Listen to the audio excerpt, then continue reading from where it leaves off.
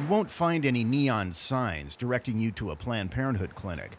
This one in a southeast San Diego strip mall keeps a low profile, but it provides state of the art care to nearly 100 patients a day. This is one of our exam rooms, and primarily we do a lot of contraceptive visits and we do a lot of screening and treatment of STDs. This clinic has its own lab. So here we do um, pregnancy testing. We also do our in-house um, rapid HIV test, which is done really simple. It's just a finger poke and the patient has a result in 15 minutes. Planned Parenthood has 19 health centers in San Diego and Riverside counties. The nonprofit had a budget of $56 million in 2011 and treated more than 160,000 patients. The vast majority of Planned Parenthood clients are women. But longtime medical director Kate Sheehan says her clinics also screen men for sexually transmitted diseases. We're the largest STD provider uh, of testing in all of San Diego County. So we're, we're proud of uh, that service that we're able to provide to our clients. And uh, we have a very small percentage, only 5%, which is our abortion services. But it's the fact that Planned Parenthood provides abortions at all that makes it such a target nationwide. Recently, the organization's been under attack in many red states where lawmakers have been trying to cut off state funding. Dr. Sheehan says people who believe abortion should be banned or restricted should reconsider. It's a very needed service. Women die when you take away uh, access to abortion. I was a medical student before 1973, and I saw wards of young women dying from uh, lack of access to abortion. So that's part of my compassionate uh, concern for protecting those, those rights. Indeed, like Dr. Sheehan herself, Planned Parenthood is much more than a healthcare provider. It's also a major advocate for women's health services and reproductive rights. California is generally receptive to their mission. After all, it's a pro choice state.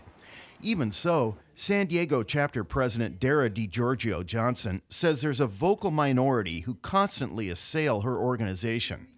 She thinks it's because the issues that Planned Parenthood talk about are tough for some people to handle. Well, I think it's radioactive because I think the topic of sex, sexuality, women, women's reproductive health, women owning their sexual health is radioactive in general.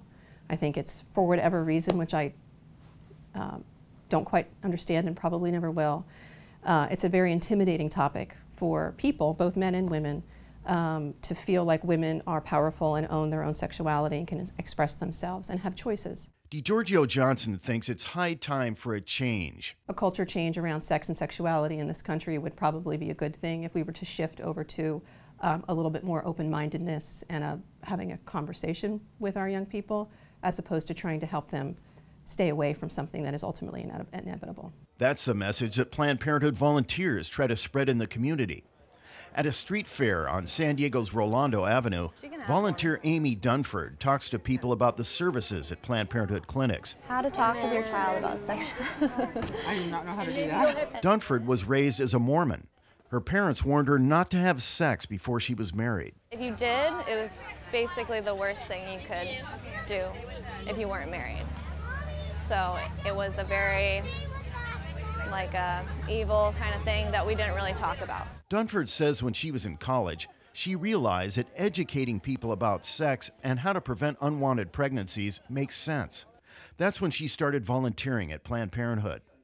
Dunford says the organization doesn't promote sex. It just wants people who are sexually active to be safe. And that's why I that's why I love Planned Parenthood and I come out here and support because it's all about health, having healthy relationships, healthy communities, building healthy families. Planned Parenthood wants to foster the next generation of advocates. That's why it sponsors a Teen Capital Day each year. The organization educates young volunteers about reproductive health bills pending in Sacramento. Then it sends teens to the Capitol to lobby their lawmakers. 16 year old Katie O'Neill will be taking her second trip this spring. O'Neill says Planned Parenthood offers teens and adults access to reproductive health care.